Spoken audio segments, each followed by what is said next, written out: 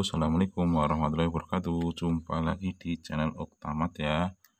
Di video ini seperti biasa kita akan melanjutkan teknik tes potensi skolastik atau pola bilangan ya. Simak terus sampai selesai biar nanti paham. Seperti biasa pola bilangan pola bilangan ini nanti bisa kita tentukan nilai dari 8 tambah 11 itu berapa dengan cara menentukan pola 1, 2, 3. Baru kita terapkan di pola yang keempat ini. Seperti biasanya, pola bilangan itu bisa penjumlahan, bisa pengurangan, bisa perkalian, ataupun pembagian. Itu ya, sekarang kita teliti dari pola yang pertama. Di sini kan 1 tambah 4 ketemu 5, memang betul. Tapi kan kita tidak mungkin menjumlahkan langsung seperti 2 tambah 5 hasilnya 12 Oke ya. 1 tambah 4, 5 itu bisa kita peroleh. Contohnya kita coba kali.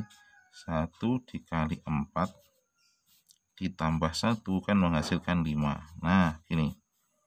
Oke, saya ulangi lagi. 1 kali 4 tambah 5. Ya kan ini kita kali dulu. Terus kita jumlah dengan 1. Yang pertama ketemu 5. Kita cek untuk pola yang kedua apakah bisa kita kerjakan. Berarti kan 2 dikali 5 ditambah 2 sehingga kan ketemunya berapa? 10 tambah 2 ketemu 12 nah berarti kan polanya sudah ketemu. Kita cek lagi di sini. Berarti kita coba aja 3 kali 6 ditambah 3 berarti 18 ditambah 3 ketemu 21 nah maka sudah ketemu juga Berarti kalau kita gunakan pola yang sama, berarti A ditambah B sama dengan A dikali B ditambah A. Nah, gini. Ini polanya seperti itu. Sehingga jawaban ini berapa? Tinggal kita olah. Berarti ini jawabannya 8 ditambah 11 ditambah 8 sehingga hasilnya kan 88 ditambah 8 sehingga menghasilkan 96 maka pola dari ini sudah ketemu. Oke ya saya ulangi lagi.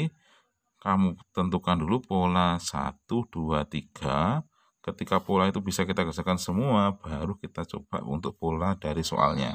Maka udah ketemu nilainya berapa. Oke untuk yang lain silahkan cek di video sebelumnya ya kan banyak pembahasan pola bilangan Oke, semoga bermanfaat. Jangan lupa di subscribe. Assalamualaikum warahmatullahi wabarakatuh.